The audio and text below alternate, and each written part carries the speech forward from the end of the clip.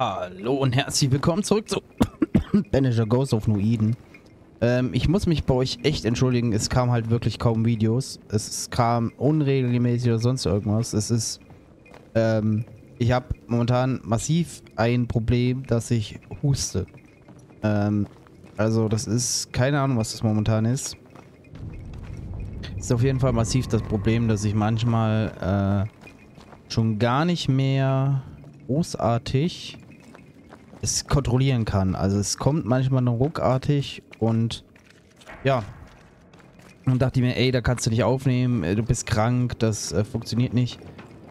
Ähm, was, was sollen denn, was sollen denn die Leute dann gucken, wenn du die ganze Zeit am Husten bist und alles? Und jetzt ist es halt so, dass ich mich äh, muten werde, wenn ich ähm, merke, ey, der Husten ähm, ist on the way. Weil äh, wir haben viel, viel, viel noch zu tun und es kommen so viele krasse Spiele, dass ich einfach nicht sagen kann, ey, ich kann jetzt komplett äh, nichts mehr machen, da sonst der Kanal auch komplett drunter leidet und das wäre nicht toll, weil die Klicks gehen so, also die Klicks gehen allgemein gerade schon nach unten, da ich gerade momentan auch nichts mehr getan habe. Ähm, deswegen, ja. Falls ihr den Kanal weiterhin unterstützen wollt, würde ich mich natürlich sehr freuen, wenn ihr einen Daumen nach oben da lasst. Oder dann äh, später kommt der, ähm, ja, oder ihr habt den Abonnier-Button schon gesehen, die mir den Venom gemacht hat. Ähm, da würde ich mich sehr drüber freuen. So. Jetzt wünsche ich euch auf jeden Fall viel Spaß mit Benja Ghost of Noiden, wo wir letztes Mal aufgehört haben. Ähm, und wir wieder mal in meiner Lieblingsmine sind. Ich hasse die Mine immer noch. Und da wird sich nichts dran ändern. Weil alle Wege von hier führen immer in die Mine. Das ist einfach, einfach nur noch... Ah, moin. Äh, einfach nur noch nervig. Wo ich die Mine geklärt habe, ist hier Gegner. Mhm, mhm. So. Dann war der Husten wieder kurz da. Wie gesagt, ich will euch das ersparen und dann mute ich mich einfach mal immer schnell. Ähm, ist auf jeden Fall um einiges auch angenehmer für euch. So, warum will er mich jetzt hier hochschicken? Ich denke, ich soll in die Mine.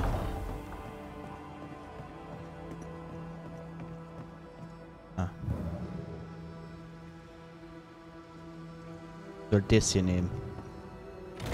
Aber das sind doch keine Unterschiede, oder?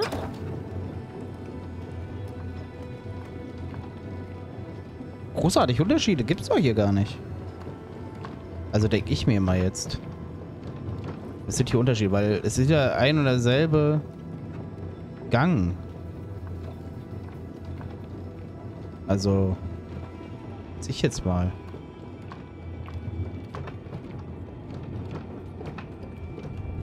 Nicht, dass ich jetzt wüsste, ey, jetzt hier irgendwie doch hier, bleibt der jetzt vielleicht hier stehen? Dass der Fahrstuhl vielleicht jetzt hier stehen bleibt und nicht weiter nach unten fährt. Wenn der Geist hier ist. Der macht hier Stopp. Na halt. Voll. Natürlich macht er hier Stopp. Ah, ich hasse euch so sehr. Ich habe euch nicht vermisst. Sie bringen noch mehr Freunde mit.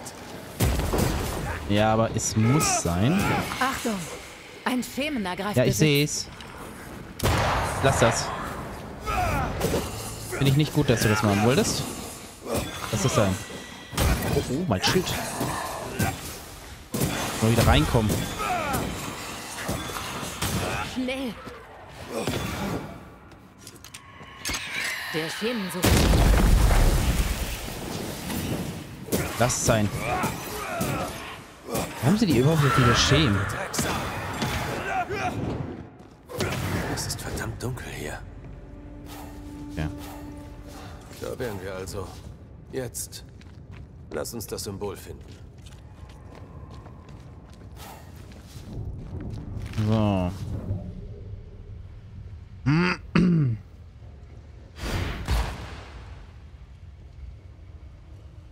Symbol. In Öfen ist halt viel von den Symbolen, ne? Will ich nicht wegmachen. Hier oben vielleicht? Nee, ne? Nee, nee, hier oben nicht.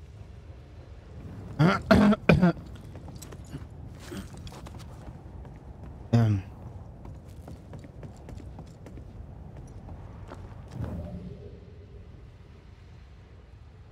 Den haben wir gemacht. Ist nuscht. Nee. Nee, nee, nee.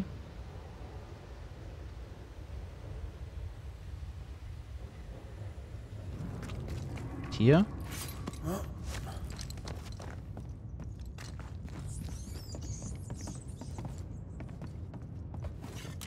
Na, mal runter das Fass.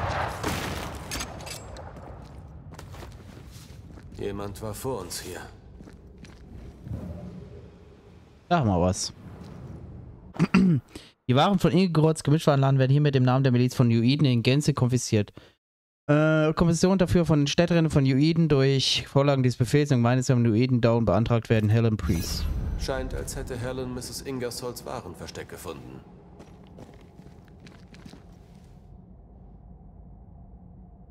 Wurde schon gefunden. Hier.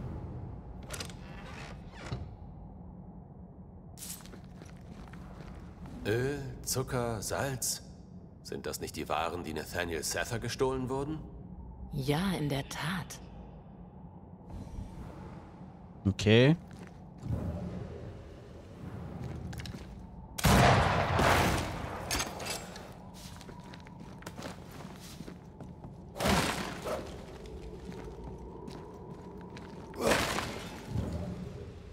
Fehlt hier noch was?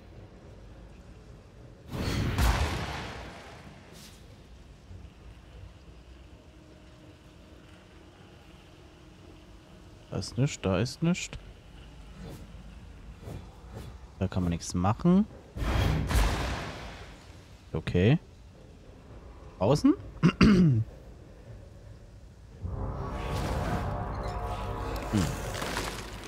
Ganz toll.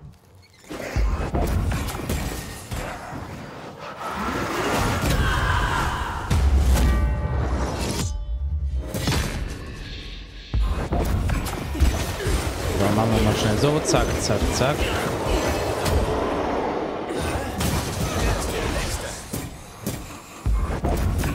Hier ist irgendwo ein grüner. Der hier. Der war also grün. Ne, du. Der hier.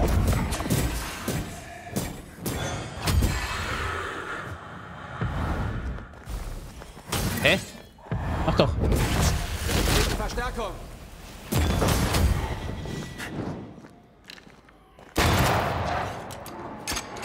Es auch einer. Das war's. So, Gebiet untersuchen. Da ist die Kiste. Entschuldigung. Er ist Chef von Inga stolz darüber, dass das Laden gut bestellt. Dies Fest lässt durch Tränk begeistert. Ein Kassenbuch von Ingersolls Laden. Selbes Datum. Aber die Beträge sind viel höher. Zwei verschiedene Geschäftsbücher. Eines davon weggesperrt in einer Truhe. Ich glaube, ich bin dahinter gekommen. Sie hat ihre eigenen Waren geklaut und sie in den Minen versteckt. Dann hat sie das Geschäftsbuch versteckt, das ihre Lüge auffliegen lassen würde. Warum sollte sie das tun?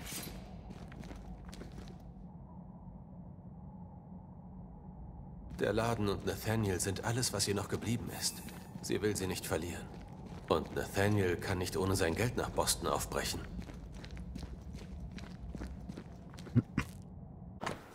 Ich, Nefels Händler, am dritten Tag im September des Jahres in Boston, der Provinz von Massachusetts Bay, schwöre hiermit, dass ich mein Boston als Ladenjunge in Ingolstadt Deutschland, das sich gegenwärtig in Boston befindet, lange beihalten werde, wie ich es meinen Herrn Welton Ingersoll für erforderlich hält oder wie Herren Befester Ingersoll meine Hilfe in Abwesenheit benötigt, damit der Laden überdauert. Nathaniel hat sein Versprechen gebrochen und zeigt keine Reue.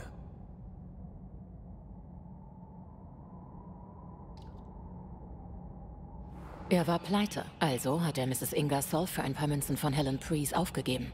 Wir sollten zu ihm zurückkehren. Okay.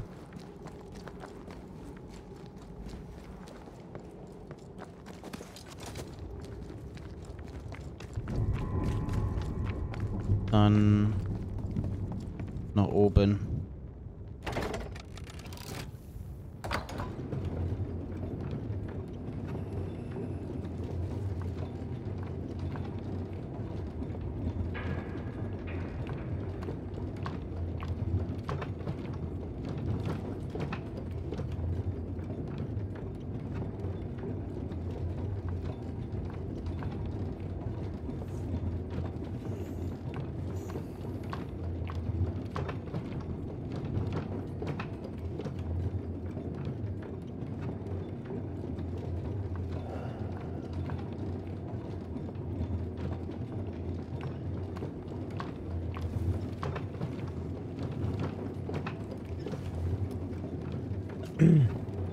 Ja, schauen wir mal sozusagen. Hat. Oh Gott. Mrs. Ingersoll? Seid ihr das?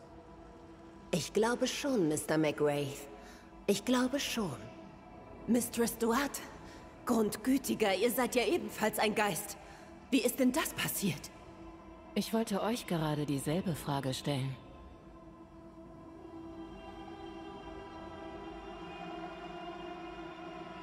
Was macht ihr hier? Ihr wart in meinem Laden, dann seid ihr sicher auch Nathaniel begegnet. Würdet ihr ihm etwas von mir ausrichten? Sagt ihm, dass er bleiben muss. Er hat sein Wort gegeben und er muss es halten. Ihr sucht also Nathaniel heim. Aber er hat uns erzählt, ihr hättet eure eigene Geldkassette gestohlen. Wieso?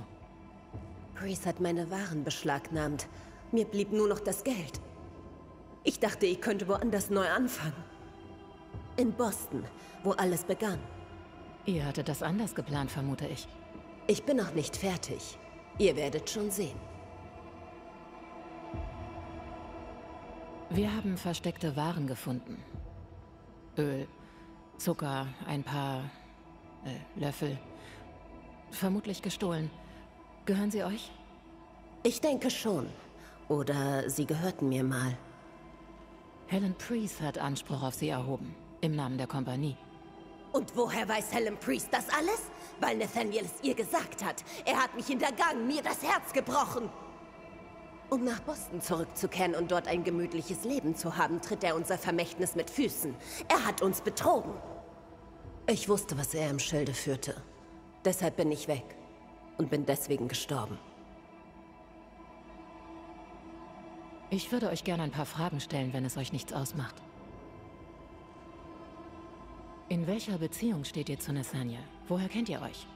Eines Tages kam ein Waisenjunge in den Laden in Boston, wollte das Handwerk lernen, wollte Hüte verkaufen. Jeder braucht schließlich Hüte, sagte er. Wir stellten ihn ein. Seitdem ist er bei uns. Er ist mein Marktschreier, mein Verkäufer. Er ist dazu geboren. Und schreiben kann er auch gut. Ihr solltet mal die Briefe lesen, die er an seinen Freund Thomas in Boston schreibt. Erzählt mir mehr über Thomas. Er und Nathaniel stehen sich sehr nah.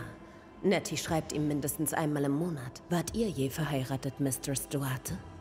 Es gab eine Zeit, da hätte ich euch verurteilt, wärt ihr es nicht gewesen. Jetzt weiß ich es besser. Liebe ist Liebe, egal in welcher Form. Nettie liebt Thomas, so wie jedermann seine Frau lieben würde. Vielleicht sogar noch mehr. Was haltet ihr davon? Da widerspreche ich nicht. Aber manchmal erfordert Liebe auch schreckliche Opfer. Woher stammt ihr? Ursprünglich aus Boston, aber jetzt eben New Eden. Und ihr? Ich wurde auf Kuba geboren, aber jetzt lebe ich überall und nirgends. Habt ihr euren Gatten in Boston kennengelernt? Ja.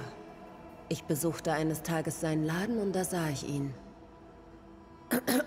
Und ihr? Habt ihr Mr. McWraith auf Kuba kennengelernt? Um Himmels Willen, nein. Wir haben uns in London kennengelernt, durch die Arbeit. Ja, das kommt vor, habe ich mir sagen lassen.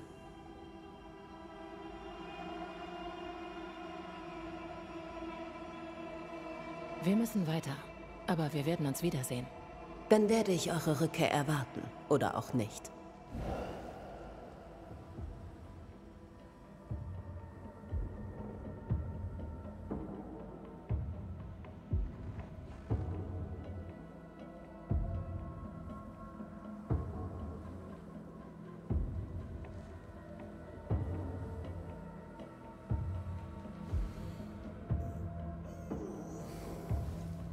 Ja, weiß ich nicht.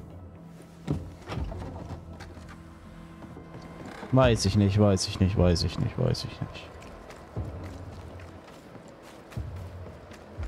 Bin ich jetzt nicht so vom begeistert, jetzt müssen wir mit Nathaniel noch reden. Ah, gut, dann zu ihm.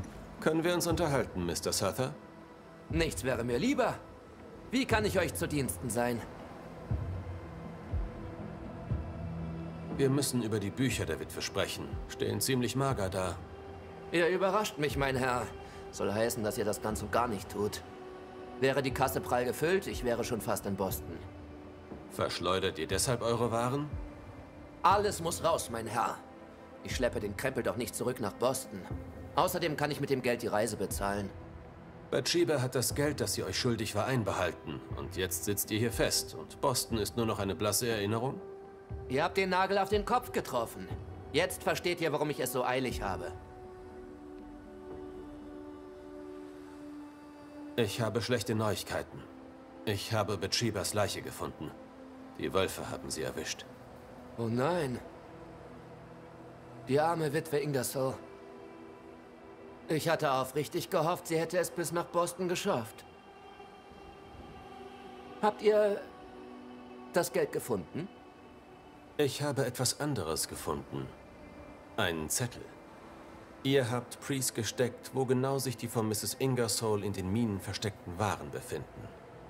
Ah, nun, ich könnte euch mehrere Erklärungen dafür geben. Aber ihr seid sicher an keiner davon interessiert. Der nichts. Es war richtig. Ich folgte Bathsheba zu ihrem Versteck und erzählte dann Mrs. Priest, wo sie sie findet. Die Waren sind überlebensnotwendig. Sie zu verkaufen wäre falsch. Ihr habt eure Chefin angelogen. Hat sie es verdient? Wisst ihr, Bathsheba war nicht mehr Herrin ihrer Sinne. Sie lebte in der Vergangenheit, während wir in der Gegenwart leben und die Zukunft in riesigen Schritten auf uns zurast. Sie ertrinkt in Trauer und ihre Freunde und Nachbarn müssen es ausbaden. Sie wollte die Waren nicht hergeben. Also habe ich die Entscheidung gefällt. In Ordnung. Die Zeit ist gekommen. Ich verstehe euch, Mr. Sether. Aber ich würde auch gern hören, was Bathsheba Ingersoll dazu zu sagen hat. Ihr nicht?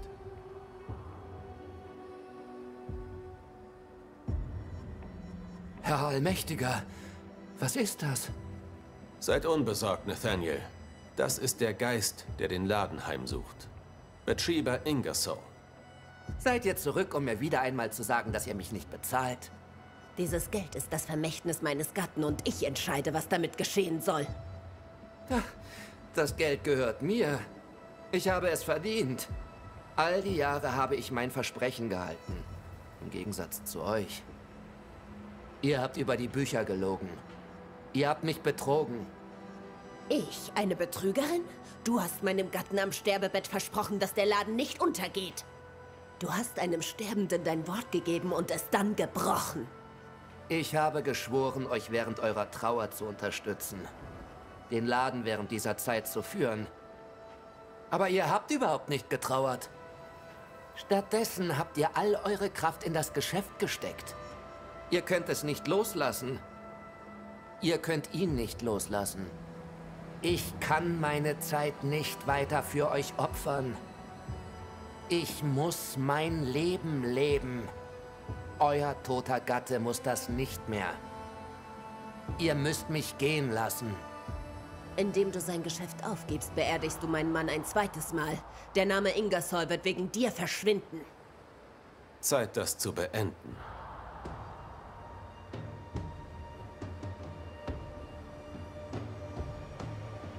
Ja, gute Frage, was wir da machen, ne?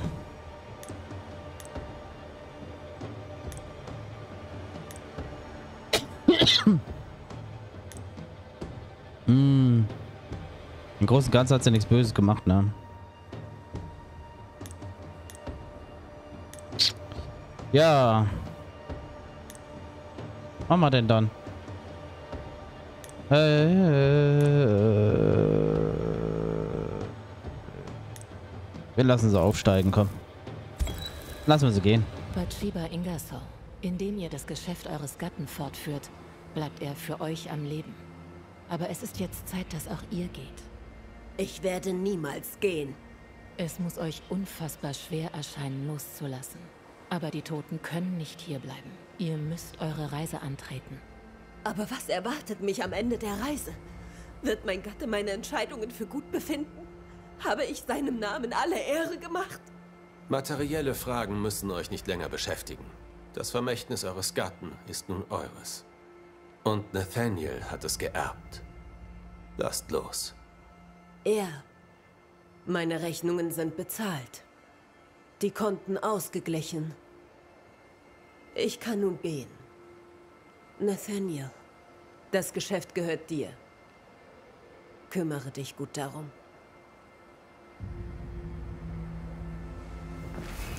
Ihr könnt gehen.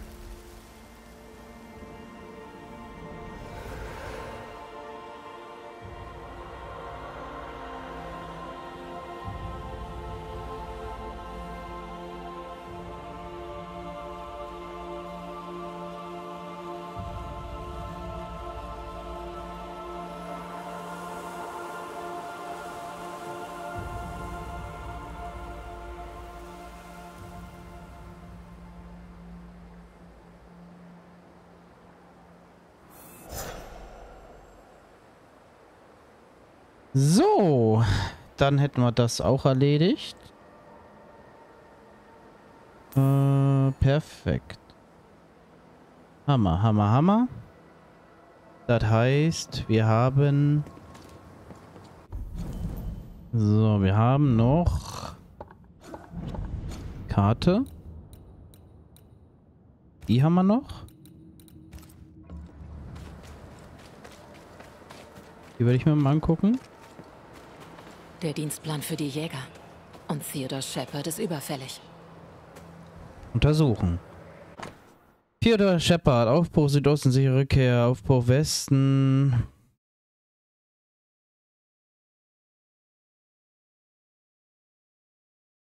Theodore Shepard, keine sichere Rückkehr. Theodore Shepard. Er ist vermutlich tot. Adleraugen. Kann ich da hinreisen? Eine Frage. Nein, kann ich nicht. Okay. Dann gehen wir dahin.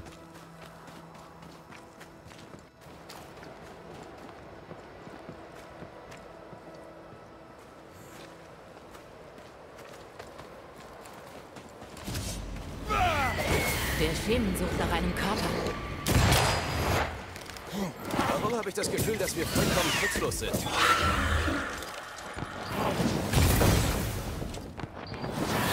Lass mich dir helfen.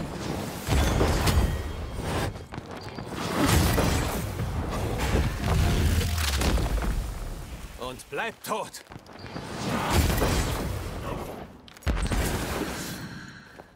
So.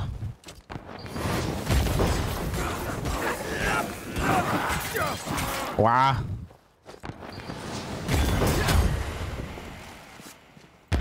Ihr denn? Da war noch einer, der ist jetzt tot, okay. Äh, wir müssen da lang. da geht's lang. Eieiei. Ei, ei.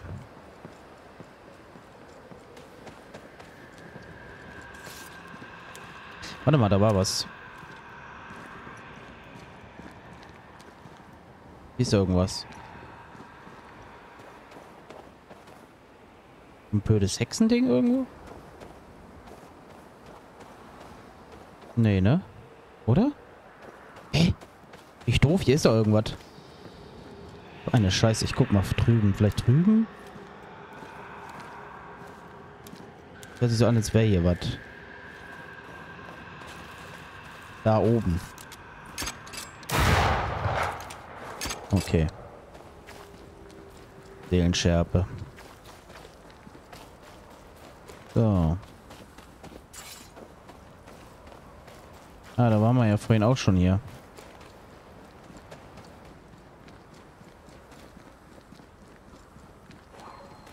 Mal auch aufmachen.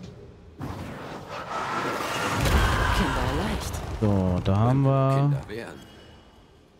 einen Kletterer.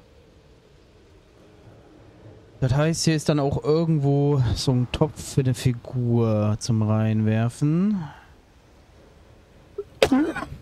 Ähm.